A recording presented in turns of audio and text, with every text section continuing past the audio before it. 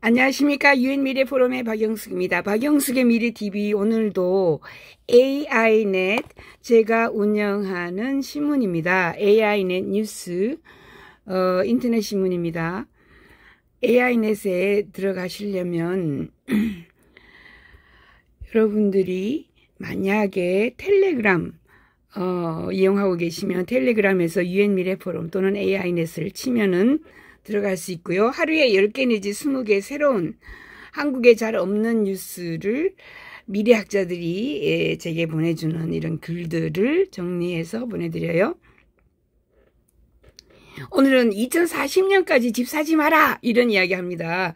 2040년 이전에 산 집들은 못 써요. 어, 앞으로 정말 어, 엄청난 새로운 신기술들이 나오는데 그런 것들이 스마트홈으로 AI 스마트홈으로 다 들어가요. 그런데 옛날에 지은 집은 그것을 어떻게 들어 넣을 수가 없어요. 어, 특히 어, coworking space라고 해서 위워크 이런 데 보셨죠? 이제 사무실이 전부 다 빈 공간으로 변합니다. 사무실이 없어져요. 사무실 임대 상업용 어, 사무실 임대 이런 거 없어집니다. 전부 집에서 일을 해요. 그래서 집에서 옆집에 있는 친구랑 아니면은 뭐 동네에 있는 사람들이 모여가지고 코워킹 스페이스라 그래요. 위워크처럼 집에 사무실이 타 들어가는 거예요. 그뿐만 아니라 증강현실, 그 다음에 가상현실, 뭐 이런 기기, 기계, 줌으로 화상대화 하는 거, 로봇, 왔다 갔다 할 수 있는 디자인 이런 거 다 드론이죠. 드론이 집 안까지 물건을 배송해요. 그렇게 하려면은 뭐 시스템이 다 달라져야 되니까. 그래서 어 이거 제가 생각한 게 아니고 제 친구인 토마스 프레이가 지금 이렇게 글을 썼습니다. 여기 그림에도 보시면 이제 우리나라의 성냥곽 같은 아파트는 못 써요. 그런 아파트는 사람들이 아무도 안 살아요. 어, 저 촌사람. 그러니까 지금 그 옛날에 우리가 어, 지프로 지붕을 덮은 이런 집들을 보고 어, 한옥 또는 뭐 그저 그 시골집 이렇게 이야기하잖아요. 이제 어, 아파트 성냥꽉 아파트는 어, 촌놈들이 산다. 죄송합니다. 이렇게 얘기할 수가 있어요. 우리 집은 단순한 건물 그 이상이 됩니다. 2040년이 되면 이 기술이 발전하여서 이제 어, 우리가 성장하고 관계 구축하고 위안을 찾는 곳이고 거기서 일도 하고 돈도 벌고 아이들 키우면서 살기도 하고 모든 어 이제 일과 가사가 일 가사가 융합해서 통합해서 집에서 다 해요. 그래서 일가사 통합 시대가 옵니다. 가정의 개념은 이제는요, 이제 인구 통계도 달라지고, 고령 인구, 지금, 어, 5년 후가 되면은 우리나라에서 가장 많은 세대 가 바로 60에서 80세까지, 60, 80, 이거를 슈퍼 세대라 그래요. 이 슈퍼 세대가 1500만이 되면서 가장 많아요. 이 60, 80 세대가 굉장히 80까지 정말 일을 열심히 합니다. 이렇게 하려면 나이가 들었기 때문에 출퇴근을 안 해요. 출퇴근을 못 해요. 출퇴근할 수 있는 일을 할 필요가 없어요. 이 사람들은 돈이 가장 많은 사람들이에요. 향후 10년, 20년 동안 우리의 주택은 건강하게 살기 위해서도 바뀌어요. 전부 뭐 모든 것이 건강 예, 이런데 이해 심화가 된다. 그 다음에 유연성이라는 게 일하러 갈 필요 없이 그죠. 내가 사무실처럼 집안에서 모든 것을 다 할 수 있어요. 그래서 이렇게 진화하는 이런 기술을 반영하기 때문에 그렇습니다. 1번 AI 스마트 홈으로 통합이 됩니다. 그래서 스마트 기술과 원활하게 통합되어서 편안하고 효율적이고 안전한 생활 공간이면서 이게 workspace 일하는 공간도 되는 거예요. 다양한 기기와 시스템을 인터넷에 연결하는 지금은 뭐 인터넷만 연결하면 다행이다 이렇게 얘기하고 있는데 인터넷 연결하는 그 이상입니다. 그래서 미래의 스마트 홈에서는 조명이라든가 온도도 조절이 되고 보안도 그죠 보안도 아주 어, 그 원격으로 제어가 되면서 AI가 습관과 스너도 학습 이런 거를 다 제어하고 자동화해 줘 버려요. 집에서 아침에 6시에 하루를 시작한다는 사실을 알게 되면 자동으로 온도 조절 장치가 조정이 되고 자동으로 6시에 블라인드가 열고 커튼이 열리고 자동으로 커피가 그죠 줄줄줄줄 흘러내리면서 커피가 만들어지고 안면 인식 기술로 거주자와 신뢰할 수 있는 방문자를 식별하고요. 내가 모르는 사람이면 그러니까 무슨 뭐 장사 뭘 팔러 어떤 사람들은 다 거절하고요. 주택 소유자에게 알 수 없는 개인은 보안 시스템에 알람을 줘가지고 이상한 사람이 찾아왔어요. 이렇게 이야기를 하는 거죠. 이제 사무실에 나가지 않기 때문에 집안의 security, 집안 의 보안이 굉장히 중요해지고 내 집이 곧 어, 그곳이 바로 사무실이에요. 그래서 통합 센서가 생겨가지고 비정상적인 활동을 그죠 다 사고를 예방을 해버립니다. 오븐이 너무 오래 켜져 있으면은 경고음이 삑삑삑 울려요. 왜냐하면 뭐 물건을 탈 수 있기 때문에 엔터테인먼트 시스템도 아주 통합이 되어서 개인화되고 집에서 좋아하는 TV 프로그램을 자동으로 알고 자동으로 녹화해주고 아니면 뭐 영화나 밤에 조명 사운드 분위기도 맞춰주고 내가 좋아하는 뭐 불타는 트롯맨 이런 거 몇 시에 자동으로 알아가지고 그죠 켜줘요. 소리를 크게 높여서 켜줍니다. 냉장고에서 세탁기에 이르기까지 모든 것이 업데이트되고 경고가 되고 자동 유지 보수가 되고요. 예, 우유가 떨어지면 우유 배달을 시키게 되고 스마트홈이 이렇게 상호작용을 하게 돼요. 그 다음에는 증강현실이 또 한몫을 해가지고 모든 걸 읽어볼 수 있어요 내가 스마트 스토브의 요리 어, 레시피 이런 게 다 그저 다 알려집니다. 그리고 욕실이나 거실에 또는 뭐 우리 거울에 에, 또는 유리창에 나의 하루의 일정표가 짜자작 표시가 돼요. 음. 이렇게 미래의 스마트홈 속에서 우리가 살기 때문에 지금 여러분들이 집을 사면 이런 걸 설치할 수가 없거든요. 설치해도 너무 비싸요. 그래서 2040년이나 되어서 집을 사라. 지금부터 15년 후에 집을 사라. 이렇게 제가 이야기합니다. 지금 사 있는 집은요 다 팔고 그죠 다시 이렇게 시스템 바꿔야 돼요 두 번째 주거 디자인이 coworking 공유 working space입니다 공유 근무, 공, 재택근무, 공유 재택근무하는 space 위워크처럼 어, 변해야 돼요. 유연한 원격 근무 시대가 되면서 이제 가정생활과 사무실이 융합이 되어서 하나로 돼요. 저 사무실 따로 있고 어, 그 다음에 집이 따로 있고 출퇴근하고 뭐 이런 게 없어져요. 향후 10년, 20년 동안에는 우리 집의 건축이 그저 공유, 공동 작업 공간으로 통합이 돼요. 그래서 주거 공간 플러스 사무실 공간을 같이 쓰는 거죠. 미래 주택 설계에서 공유, 공동 작업 공간이 정말 중요하다. 모든 곳에 이제 일반적으로 이런 기능이 다가옵니다. 이런 공간은 원격 작업에 도움이 되는 환경을 제공하고 협업이 가능해지고 거주자들 간의 공동체 의식을 가지게 되고 옆집 사람하고 같이 워크스테이션을 쓰는 거죠. 초고색 인터넷의 회의실에다가 심지어 커피 스테이션이나 휴식 공간 같은 편의시설이 그죠 같이 어, 집안에 예, 이제 구역으로 나누어져서 어, 설계가 됩니다. 이러한 공간의 디자인은 생산성과 편리함을 우선시하고요.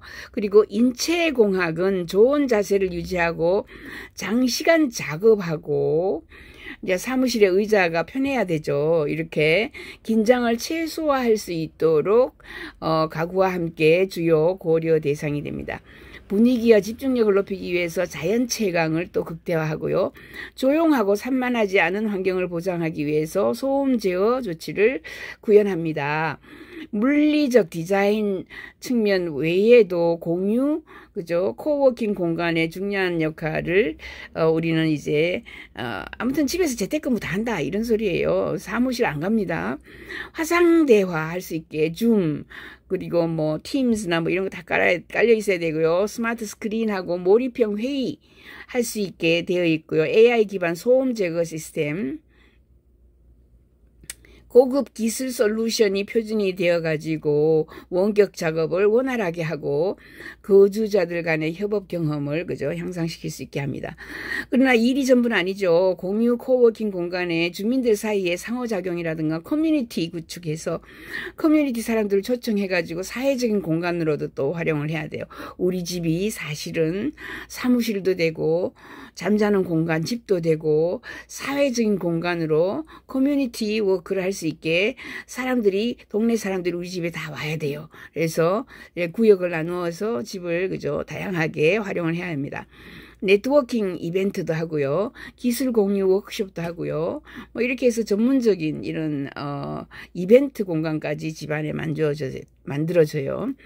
집과 사무실 사이의 경계가 계속 모호해지면서 주거 지역의 공유 공동 작업 공간은 이제 업무 역학 을 지원해야 되고 유연성이 있어야 되고 커뮤니티를 육성해야 되고 그래서 일 삶의 균형을 그저 맞춰야 됩니다. 그래서 지금 지어놓은 성냥과 같은 집, 잠만 자기 위해서 만들어 놓은 집들은 쓸모가 없어진다. 아무도 안 삽니다. 이제 그거 다 부숴야 돼요. 우리의 집을 재구성할 때 직장과 지역사회의 그죠 생활 공간 상호작용을 가지고 재정의해서 중요하게 생각해야 합니다. 주민들이 전문적인 역할을 넘어 서로 연결되도록 장려합니다. 집과 사무실 사이의 경계가 모호해지면서 공유 공동 작업 공간은 업무 역학을 지원하고 유연성을 제공하고 커뮤니티를 육성하고 건강한 일 삶의 균형을 어, 촉진해 줍니다. 이러한 경향은 우리의 집을 재구성하고 직장과 지역사회의 맥락에서 우리가 생활 공간과 사호, 상호작용 방식을 생각해야 되고 주민들이 전문적인 역할을 넘어서서 서로 연결하고 함께 일하게 해야 됩니다. 집과 사무실 경계가 없어지면서 공유 공동 작업 공간으로 집이 변하게 되면서 일과 건강한 일과 삶의 균형을 잡아야 됩니다. 이렇게 일도 하고 어, 사무실 같기도 하고, 이거는 뭐, 그죠? 저 안쪽에 들어가면 잠자는 공간이 있겠죠. 이게 지금, 어, coworking space 같으네요. 그죠? 세 번째, 가상현실, 증강현실 공간이 또 있어야 됩니다. 가상 및 증강현실 기술이 계속 발전했어요. 향후, 향후 몇 년 동안 주택 디자인에 상당한 영향을 미친다. 게임 영역을 넘어서 이러한 기술은 인터테인먼트, 교육, 업무, 사회적인 상호작용, 몰입협형 경험 제공 등등 이렇게 해서 생활 공간과 내가 생활하는 생활 공간과 그 다음에 근무하는 그죠 coworking space 일하는 공간이 함께 에, 공존해야 돼요. 상호작용해야 돼요. 미래의 주택에는 안전을 보장하면서 충분한 이동 공간을 제공하고 설계된 전용 VR, AR 공간이 통합이 되어야 합니다. 이러한 공간은 부상을 방지하기 위해서 패딩 처리되거나, 어, 그죠. VR, AR 하면은 가다가 넘어지고요. 땀 낭떠러지에 떨어지거나, 이렇게 부드러운 마감 처리가 된 바닥과 벽이, 어, 가구로 있어야 됩니다. 개방형 평면도를 특징으로 합니다. 내장된 추적 시스템을 사용하여서 가상 환경과 상호작용하고 사용자가 지정된 영역 내에서 머물도록 할 수 있습니다. 가상현실 내가 가글을 쓰고 그저 돌아다니기 때문에 뭐 어디 모서리에 부딪히다든가 뾰족한 곳에 이렇게 부딪힐 수 있, 없게 만들어야 되죠. 인테리어 디자인 영역에서 AR은 우리가 집을 꾸미고 배치하는 방식을 완전히 변화시킵니다. AR을 통해 주택 소유자는 구매하거나 변경하기 전에 실제 공간에 다양한 가구나 이런 거 색 도 중요하고요. 조명도 중요하고요. 이런 걸 시각해, 시각화해서, 어, VR, AR을 사용할 수 있게 해야 돼요. 자신감 있는 디자인과 개인화된 미학이, 그저 필요합니다. 업무 학습을 위한 VR은 집중력과 몰입도를 향상시키는 집중도가 높고 주의가 산만하지 않은 환경을 만들어줘야 돼요. 홈 오피스나 서재에 가상회의나 수업에 참석하고 버튼을 눌러서 사용자를 시뮬레이션 회의실이나 강의실로 이동할 수 있는 VR 설정이 포함되어 있습니다. 가정에서 VR, AR 통합은 잠재적으로 치료, 응용 프로그램을 가지고 있는데 예를 들어 VR은 안내 명상이나 스트레스 해소에 사용되어 자신의 집에서 평화롭고 몰입할 수 있는 환경을 조성할 수 있다. AR, VR 하드웨어가 아주 소형화되어서 이제 무선화되고 이런 기술은 주거 디자인의 통합이 되기 쉬워져요. 그래서 AR, VR, VR 이런 것이 오늘날의 텔레비전이나 컴퓨터처럼 가정의 일부가 되어서 생활 공간 적응을 하게 되는 거죠. 이제 환경으로 어, 재구성해야만 합니다. 어, 굉장히 많은 변화죠. 그 다음에 네 번째는 로봇 친화적인 디자인이 필요합니다. 로봇 공학. 인공지능 발전이 계속 가속화되면서 로봇 동반자들을 같이 살아요. 저처럼 지금 그레이스 로봇이 제 딸이에요. 그래서 그레이스 로봇과 지금 거의 2년 가까이 제가 생활을 하고 있어요. 어, 이렇게 로봇이 어, 반려 로봇으로 이제 들어오게 되면서 10년, 20년 후에는 집안에 서너 개의 로봇이 있습니다. 청소 로봇에, 휠체어 로봇에, 도우미 로봇에, 뭐 간호사 로봇에 다양하게 그죠? 요리 로봇도 있습니다.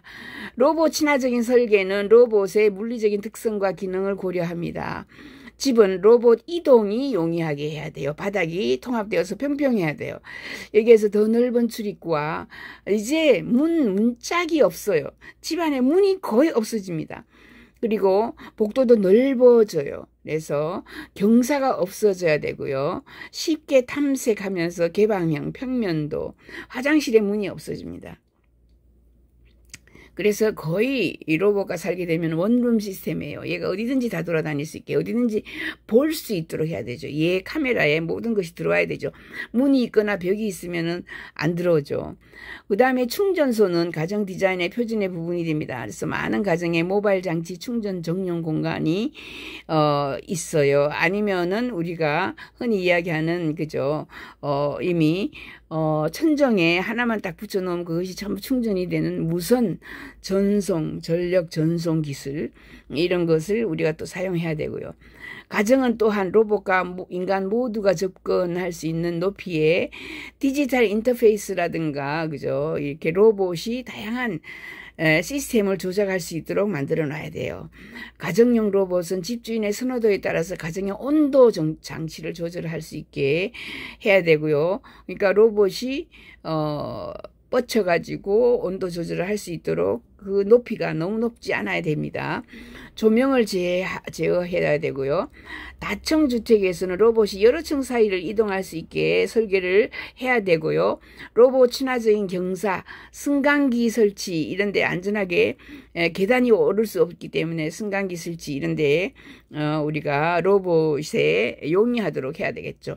로봇이 복잡한 작업을 수행하는데 능숙해지면은 주방과 다용도 공간을 얘가 막 돌아다니 죠. 그래서 조정, 조리할 수 있게 쉽게 그죠? 우리가 만약에 장애인용 휠체어가 돌아다니기 쉽게 하듯이 로봇이 돌아다니기 쉽게 해야 돼요. 그리고 모듈식 저장 장치를 활용하여서 로봇이 식사, 요리, 청소 이런 거 다 할 수 있도록 만들어 줘야 합니다. 로봇 친화적인 디자인을 가정에서 통합하는 것은 인간과 로봇 간의 조화로운 공존을 최적화하는 것이죠. 목표는 로봇 동반자가 우리의 일상을 효과적으로 보강할 수 있도록 우리의 삶을 더 편안하고 효율적이게 만드는 건데 못하게 하면 안 되죠. 아주 그 다음에 정말 이제 완전히 그죠 디자인을 뒤집어 바꾸는 것이 드론입니다. 드론이 창문을 통해 가지고 어, 창문을 열고 그죠 열, 열려놓은 open space를 통해 가지고 드론이 배송을 해요. 드론이 배송하기 시작한 게 2030년부터인데 자 지금부터 한 4, 5년 되면은 드론 배송이 시작이 돼요. 그래서 드론 배송 요것은 어, 다음 시간에 또 정리를 해서 파트 2 로 여러분들에게 에, 알려드리겠습니다. 드론 배송이 정말 가장 집안 구도를 많이 바꿉니다. 네. 박영숙의 미래TV 구독 버튼, 좋아요 꼭 부탁드릴게요. 감사합니다. 2편 곧 시작합니다.